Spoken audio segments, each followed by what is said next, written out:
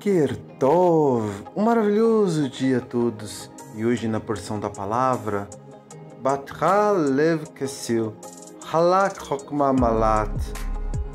O que confia no seu próprio coração é insensato, mas o que anda em sabedoria será salvo. Provérbios 28 e 26.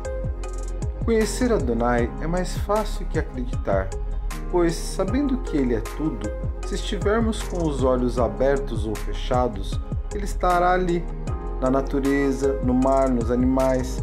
Conhecer Adonai é se entregar e sentir que, através dessa entrega, se tem lâmpada nos pés e luz no caminho. Bendito seja o nome de Adonai que nos guia como pastor que não falta. Em nome de Yeshua HaMashiach, amém, amém. Shalom, shalom.